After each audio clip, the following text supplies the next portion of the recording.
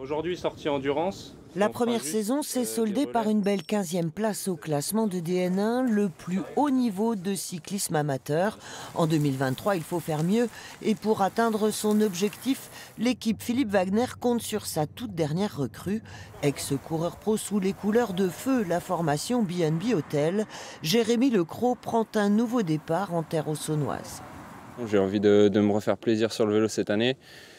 Et puis bah si euh, s'il y, a une équipe professionnelle qui, me contacte, euh, voilà, euh, je repasserai. Après euh, voilà, il y a un projet aussi avec l'équipe sur le long terme, donc pourquoi pas rester dans l'équipe aussi. On revient d'une semaine de stage dans le sud où le groupe a très bien roulé, on s'est très bien entraîné. Et donc voilà, on a hâte de reprendre les courses dans deux semaines.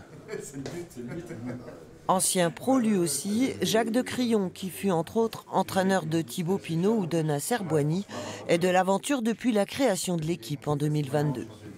Le projet vaut vraiment le coup. En plus, il y a cette euh, identité franc-comtoise qui, me plaît aussi, puisque je suis franc-comtois de, naissance.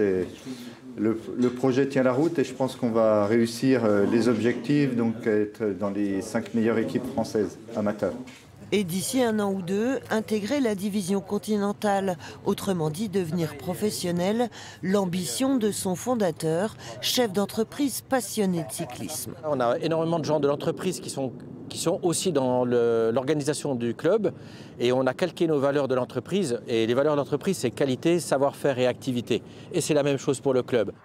Démonstration attendue aux boucles du Haut-Var, premier rendez-vous de la saison du 11 au 16 février.